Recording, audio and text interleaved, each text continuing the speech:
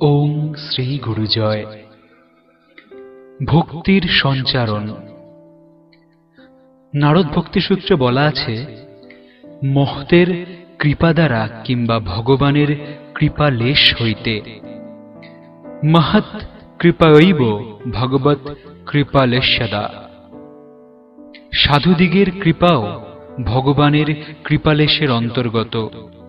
কখন যে কিরূপে ভগবানের কৃপা হয়, তাহা মনুষ্যের বুদ্ধির অতীত।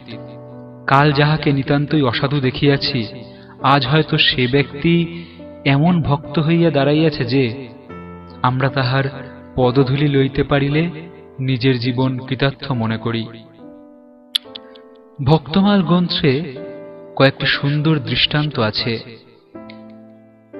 যেমন, কোন রাজার একটি ম্যাথর ছিল। এক দিবস ওই ম্যাথরের রাজভাণ্ডারে চুরি করিবার বড়ই ইচ্ছা হইল। দ্বীপ প্রহরে রাত্রেতে রাজা শয়নাগারের নিকটে সে শীত কাটিতেছে, এমন সময় রানী রাজাকে জিজ্ঞাসা করিলেন, কতদিন তোমায় বলিতেছি, তুমি বড় মেয়ের বিয়ে দেবে না? রাজা বলিলেন, উপযুক্ত বর না পাইলে কাহার হস্তে সমর্পণ করিব? রানী বারংবার বিরক্ত করায় অবশেষে রাজা বলিলেন, যে, তাহলে পরদিন প্রত্যুষে তিনি নিকটস্থ তপবনে গমন করিয়া প্রথমে যে যোগীর সাক্ষাৎ পাইবেন, তাহাকেই আপন কন্যা ও রাজ্যের অর্ধভাগ দান করিবেন। ম্যাথর রাজার এই সংকল্প শুনিতে পাইল এবং মনে মনে চিন্তা করিল, তবে আমি বৃথা পরিশ্রম করি কেন? চুরি করিতে আসিয়াছি, কেহ যদি টের পায়, যদি ধরা পড়ি, তবে তো প্রাণটিও হারাইতে হইবে। যাই, যোগী বেশ ধরিয়া তপবনে বসে থাকি। অনায়াসে রাজকন্যা ও রাজ, অর্ধ আমি সহজেই লাভ করিব। ইহা স্থির করিয়া সে আপন গৃহে আসিয়া যোগী বেশ ধারণ করিয়া রাত্রি প্রভাত না হইতেই যে পথে রাজা তপবনে যাইবেন, সেই পথের পার্শ্বে তপবন প্রান্তে বসিয়া রহিলেন। প্রত্যুষে যেই রাজা তপবনের নিকটস্থ হইলেন, অমনি যোগী ধ্যানস্থিলোচন হইয়া বসিলেন। রাজা আসিয়া নিকটে দেখেন যোগী গভীর ধ্যানে নিমগ্ন। রাজা তাহাকে শাস্ত্রাঙ্গে পণিপাত করিয়া অনেকক্ষণ প্রতীক্ষা করিতে লাগিলেন। যোগীর ধ্যান ভঙ্গ হয় না। অবশেষে বহুক্ষণ পরে যোগী চক্ষু উন্মিলন করিলেন। রাজা পদতলে পড়িয়া তাহাকে নগরীতে লইয়া যাইবেন প্রার্থনা করিলেন। যোগী অগত্যা স্বীকারও করিলেন। রাজা তাহাকে কত আদর করিয়া অগ্রে লইয়া চলিলেন। রাজবাটিতে উপস্থিত হইয়া সিংহাসনে বসাইয়া রাজা তার পদ প্রক্ষালন করিলেন। রানী চামর ব্যজন করিতে লাগিলেন। কিয়ৎকাল পরে দুইজনে মিলিয়া কৃতাঞ্জলি হইয়া এই প্রার্থনা করিলেন, ভগবান, আমাদের একটি পরমা সুন্দরী কন্যা আছে। অনুমতি হইলে শ্রীচরণে সেই কন্যা ও রাজর্ধ উৎসর্গ করি।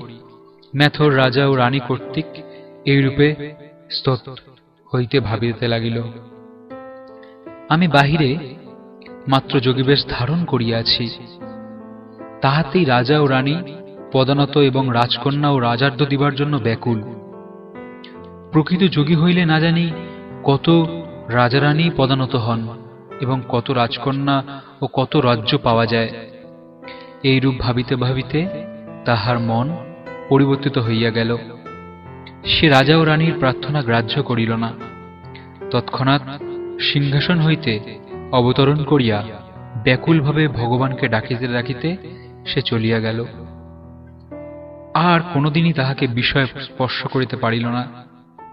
ভক্তির দ্বার খুলিয়া গেল, জীবন সার্থক হইল। সে তাহার দুরভিসন্ধি সিদ্ধ করিতে চাহিয়াছিল, কিন্তু ভগবানের কৃপা হইল, অমাবস্যার অন্ধকার পূর্ণিমার রাত্রিতে পরিণত হইল। অর্থাৎ যে ছিল অমাবস্যার অন্ধকার, সে হয়ে গেল পূর্ণিমার চাঁদ। ভগবানের কৃপা যে কখন হয়, বোঝা যায় না। একজন ম্যাথর লোভের বসে রাজা হতে গিয়ে সে হয়ে গেল ভক্ত। এইরূপ আরেকটি গল্প আছে। এক বেদ পাখি মারিবার জন্য এক সরোবরের তীরে উপস্থিত হইল। তাহাকে দেখিবা মাত্র পাখিগুলি উড়িয়া গেল। সে প্রত্যহ যাইত এবং পাখিগুলি উড়িয়া যাইত। তার পাখি শিকার করতে বড্ড অসুবিধা হতো। সে তাহা দেখিয়া এক বৃক্ষের আড়ালে লুকাইয়া রহিল। কিছুকাল পরে দেখিল একটি বৈষ্ণব। সেই সরোবরেই নামিয়া স্নান করিতে লাগিলেন। কিন্তু অবাক, একটি পাখিও তাহাকে দেখিয়া সংকুচিত হইল না বা উড়িয়া গেল না। এই ব্যাপার দেখিয়া ব্যাদ ভাবিল আচ্ছা আমি যদি বৈষ্ণব সাজিয়া উহাদের নিকটে যাই, তখন কি ওরা উড়িয়া যাইবে? মনে হয় উড়িয়া যাইবে না। তাহলে আমি সমস্ত পাখি অনায়াসে ধরিয়া আনিতে পারিব। তীর্ধনিকের তো কোনো প্রয়োজনই হবে না। এইরূপ স্থির করিয়া বেদ বৈষ্ণবের বেশ ধরিয়া সরোবরে নামিল।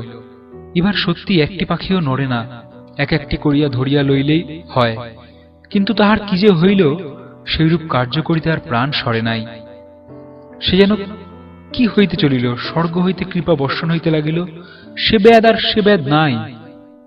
অবিরত ধারে অশ্রু জলে তাহার বক্ষস্থল ভাসিয়া গেল। পাষাণ গলিল সে করুণার প্লাবনে। প্রাণের ভিতরে যে কি প্রেমের তরঙ্গ উঠিল কে জানে? কয়জনের ভাগ্যে তেমন হয় জানি না। সে চিন্তা করিতে লাগিল, যাহার সেবকের বেশমাত্র ধারণ করিলে পশুপক্ষী ভয় করে না? কিছুমাত্র সংকুচিত হয় না? দিবারাত্রি তাহার নাম করিলে প্রকৃত ভক্ত হইলে না জানে কি না হয়। যে আমাকে দেখিয়া পাখিগুলি ভয় কোথায় পালাইবে, তাহার জন্য ব্যস্ত হইত, সেই আমিই এখন পুণ্যবেশ ধারণ করিয়াছি বলিয়া হেলিয়া দুলিয়া আমার চারিদিকেই কতই না ক্রিয়া করিতেছে। কি সুন্দর এই পাখিগুলো। আমি এদেরকে মারতাম। আহা! এই মধুর বেশ, এই মধুর ভূষণ আমি ত্যাগ করিতে পারিব না। ব্যাত সেই মুহূর্ত হইতে ভক্ত হইয়া গেল। এরূপ অনেক দৃষ্টান্ত আছে। দস্যু রত্নাকরের দৃষ্টান্ত মনে করুন, এটা তো সবাই জানেন। এরকম আরেকটি গল্প বা দৃষ্টান্ত চমৎকার দেখা গিয়েছে, তাহা শুনিলে আপনিও মোহিত হইবেন। এক ব্যক্তি ইতর বংশোদ্যত অত্যন্ত জঘন্য প্রকৃতির ছিলেন। এমন পাপ অতি কম আছে যাহা তিনি করেন নাই। সুরা পান থেকে শুরু করে গঞ্জিকা সেবনও বিশেষ পটু ছিলেন। তিনি বিশেষ ক্রোধের স্বভাবে ছিলেন, ক্রোধান্বিত হইয়াতেন সহজেই। একদিন তাহার শত্রু বিনাশ করিবার জন্য তাহার ঘরে তিনি ভয়ানক বিষধর সাপ হাড়িতে করিয়া পুড়িয়া লইয়া যাইতেছিলেন। ভগবান রক্ষাকর্তা, সেই সাপ নিয়ে একটি বাঁশের সাগর উপর দিয়ে যাচ্ছিলেন। হঠাৎ সেই বাঁশের সাগরটি ভাঙিয়া তিনি জলের ভিতরে হঠাৎ চোর পড়িয়া যান এবং সাপটিও সেই অবসরে পালিয়ে যায়। কাজেই তাহার অভিষ্ট সিদ্ধ হল না। একদিন তিনি সুরাপানে বিভোর হইয়া চলিয়াছেন। এমন সময় একখানি ঘরের নিকটে কোনো প্রয়োজনে বসিলেন। ঘরের ভিতরে কয়েকজন লোক একটা গান গাইতেছিল। গানটি ছিল এইরকম, ওহে দীননাথ, করো আশীর্বাদ, যেন এ রসনা করে হে ঘোষণা। ওহে দীননাথ, করো আশীর্বাদ, এই দিনহীন দুর্বল সন্তানে যেন এ রসনা করে হে ঘোষণা, সত্যের মহিমা জীবনে মরণে। মহেন্দ্রক্ষণে পদগুলি তাহার কর্ণে প্রবেশ করিল। সেই মুহূর্ত হইতে তার জীবনের হঠাৎ গতি পরিবর্তিত হয়ে গেল, অর্থাৎ ভগবানের কৃপা হইল। সুরার মত্ততা তৎক্ষণাৎ ছুটিয়া গেল। তখনই হঠাৎ তিনি প্রতিজ্ঞা করলেন আর না এই সময় হইতে নতুন জীবন পত্তন করিতে হইবে। আর এই যে ঘৃণিত অভ্যাসগুলি আমি করি, এ আর স্থান দেয়া যাইবে না। বাস্তবিক সেই শুভ মুহূর্ত হইতে তাহার জীবনে নতুন ভাব ধরিল। আর সে কলঙ্কগুলো আর নাই। তিনি কবিরাজি ব্যবসায় করিতেছেন। এক টাকা কি তদ্রুপ যাহা পান, তাহা ব্রাহ্ম সমাজে দান করিয়া থাকেন। এক টাকারও কম যাহা পান, তাহার দ্বারা নিজের জীবিকা নির্বাহ করেন। এইরূপ জগাই মাধাই প্রভৃতি কত যে মহা পাপী ভগবত কৃপায় নিমেষের মধ্যে কৃতার্থ হইয়া গিয়াছে, তাহার দৃষ্টান্তের অভাব নাই। সুতরাং কখনো নিজেকে ছোট মনে করবেন না বা পাপি মনে করবেন না। এখনও সময় আছে ভালো হবার, ভগবানের কৃপা লাভ করার। ভগবানের কৃপা লাভ করতে আগ্রহী হন। জগাই মাধাই মহতের নিত্যানন্দের কৃপায় পবিত্র জীবন লাভ করেন। কিন্তু মহতের কৃপাও কিন্তু ভগবত কৃপা সাপেক্ষ। তিনি কৃপা না করিলে কিন্তু কি নিত্যানন্দ তাহাদিকে নিকট উপস্থিত হইতেন এবং ভক্তের যে কি মহিমা তাহাদিকে চক্ষে পড়িত। কিন্তু ভগবানের কৃপা তো দিবানিশী অবিরত বর্ষিত হইতেছে। যাহার চক্ষু আছে, তিনি দেখিতে পান দয়ার তার নাহি বিরাম ঝড়ে অবিরত ধারে। তিনি বৎসহারা, তিনি আমাদের উপর কৃপাবর্ষণ করিয়াই যাইতেছেন। আমাদের ধরার ইচ্ছাটা প্রকাশ করিলেই হয়। গাভীন্যায় আমাদিকের পশ্চাৎ পশ্চাৎ সর্বদা ধাবিতও নেই আমরা স্বাধীনতার বলে দূরে পলায়ন করি। মানুষ কেবল পাপের ভাগী নিজ স্বাধীনতার ফলে। যে ব্যক্তি তাহার কৃপা অনুভব করিতে চাহেন, তিনিই দেখিতে পান। সেই করুণা বর্ষে শতধারে। তিনি তো আমাদিগের জন্য সর্বদাই ব্যাকুল। আমরা তাহার জন্য ব্যাকুল হইলেই পাপ চলিয়া যায়। পাপ দূর হইলে হৃদয়ধন, অমনি ভক্তের হৃদয় আলো করিয়া প্রকাশিত হন। রামকৃষ্ণ পরমহংস মহাশয় বলিতেন, চুম্বক পাথর যেমন লৌহকে আকর্ষণ করে, তেমনি তিনি আমাদিগকে আকর্ষণ করিতেছেন। যে লৌহদণ্ড কাদা মাখানো তা চুম্বককে লাগিয়া যাইতে পারে না। আমরা কাদা মাখানো বলিয়া তাহাতে লাগিতে পারিতেছি না। কাঁদিতে কাঁদিতে সেই কাদা ধুইয়ে যাইবে। অমনি তারপরে আমরা টুক করে সেই চুম্বকে লাগিয়ে যাইব। তাহাকে ডাকিতে হইবে ও পাপের জন্য কাঁদিতে হইবে। তাহা হইলে তাহার কৃপা অনুভূতি হইবে। যে তাহাকে ডাকে, তাহারই প্রতি তাহার কৃপা হয়। অর্থাৎ সেই তাহার কৃপা অনুভব করে ও তাহার স্বরূপ দেখিতে পায়।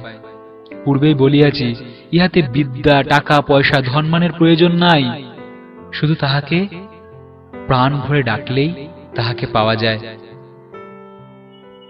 কঠ উপনিষদে বলা আছে, এই আত্মাকে অনেক বেদাধ্যয়ন দ্বারা পাওয়া যায় না। নায়ামাত্মা প্রবচনে ন লভ্য, ন মেধায়া, ন বহু বহুনা ন যমে বৈশ্য, বৃণতে তেন লভ্য। স্তশৈষ আত্মা বৃণতে তনুনং শাম। অর্থাৎ এই আত্মাকে অনেক বেদোদ্যন দ্বারা পাওয়া যায় না। অনেক গ্রন্থাত্ম ধারণ করিলেও পাওয়া যায় না। অনেক শাস্ত্র শোভন করিলেও পাওয়া যায় না। তবে কিসে পাওয়া যায়? নিজের ইচ্ছা থাকা চাই। নিজেকে ভালো করার ইচ্ছা থাকা চাই। তবে ভগবান যাহাকে কৃপা করেন, তিনি ইহাকে পান। তাহারই নিকটে ইনি স্বরূপ প্রকাশিত করেন। ওং শ্রী গুরুজয় শ্রী গুরুজয় শ্রী গুরুজয়।